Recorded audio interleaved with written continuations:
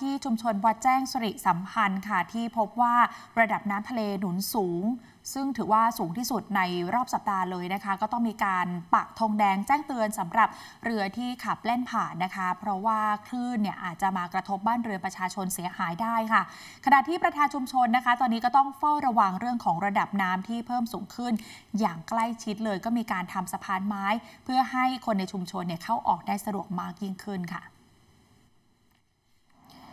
โดยช่วงเช้าที่ผ่านมานะคะ พบว่ามีระดับน้ำในแม่น้ำเจ้าพระยาที่เพิ่มสูงขึ้นค่ะ จากอิทธิพลของน้ำทะเลหนุนสูง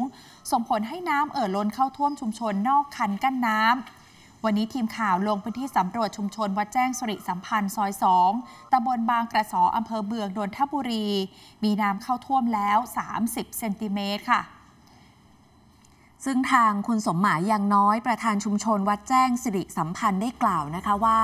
วันนี้ถือว่าน้ำทะเลหนุนสูง แล้วก็น้ำขึ้นเร็วที่สุดในรอบหลายวันค่ะนำเอาธงแดงมาปักไว้ ริมแม่น้ำเจ้าพระยานะคะ เพื่อที่จะเป็นสัญญลักษณ์ ให้เรือชนิดต่างๆ ชะลอความเร็ว เนื่องจากมีคลื่น ซัดบ้านเรือนประชาชนเสียหาย แล้วก็เตรียมเฝ้าระวังสถานการณ์น้ำในวันพรุ่งนี้ ไปจนถึง 24 ตุลาคม หากน้ำเอ่อท่วมตัวบ้านเรือนประชาชนนะคะ ก็อาจจะต้องอพยพ โดยเฉพาะกลุ่มผู้ป่วยติดเตียงในชุมชน อพยพออกจากบ้านไปอยู่ในจุดที่ปลอดภัยค่ะน้ำน้ำเหนือไม่ลงมาเนี่ย น้ำทะเลหนุนเราก็ยังพอ ยังพอสู้ยังพอสู้ได้ฮะมันยังไม่มากเท่าไหร่ แต่ว่าก็รอวันนี้พรุ่งนี้นี่แหละ ตั้งแต่นี้ไปมันจะมากขนาดไหนเรายังไม่รู้ต้องคอยดูต้องเฝ้าระวัง ทางเทศบาลจะส่งส่งอ่าอ่าลายน้ำอะไรเนี่ยนะฮะน้ำมากน้ำอันเนี้ยส่งมาให้ดู เราก็จะได้รู้ว่าวันนี้สูงเท่าไหร่ มากเท่าไหร่น้อยเท่าไหร่ครับ ก็ อาศัยของเทศบาลดูอยู่ครับ ผู้ติดเตียงนี่นะครับ เราก็เตรียมการไว้หมดแล้วครับ เพราะว่า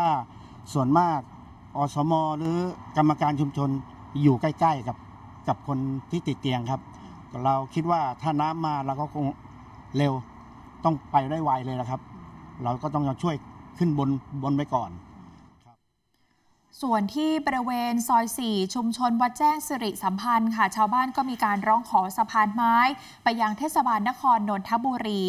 เมื่อวานนี้ก็มีเจ้าหน้าที่เข้ามาต่อเติมสะพานไม้ให้มีความสูง 80 เซนติเมตร ระยะทางยาว 100 เมตร เพื่อให้ประชาชนสามารถเดินทางสัญจรเข้าออกได้อย่างสะดวก เนื่องจากบริเวณดังกล่าวเป็นพื้นที่ต่ำที่สุดของชุมชนค่ะ เมื่อช่วงเช้าที่ผ่านมาก็มีน้ำเข้ามาท่วมขังสูงกว่า 60 เซนติเมตรแล้วสำหรับชุมชนดังกล่าวเป็นชุมชนนอกแนวคันกั้นน้ำในพื้นที่จังหวัดนนทบุรี มีบ้านเรือนอยู่ 250 หลังคาเรือนค่ะ ประชาชนพักอาศัยกว่า 1,000 คน ซึ่งติดอยู่กับแม่น้ำเจ้าพระยา แล้วก็ได้รับผลกระทบจากระดับน้ำในแม่น้ำเจ้าพระยาเป็นประจำทุกปี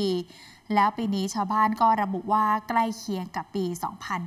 2565 ที่มีน้ำมากเช่นเดียวกันค่ะ ขอบคุณที่ติดตามรับชมรายการ TNN News ข่าวเที่ยงนะคะ อย่าลืมกด subscribe กดกระดิ่ง กดไลค์ กดแชร์ ทุกช่องทางออนไลน์ของทาง TNN ช่อง 16 เพื่อไม่พลาดข่าวสาร รายการสด รวมถึงคลิปวิดีโอที่น่าสนใจอีกมากมายเลยค่ะ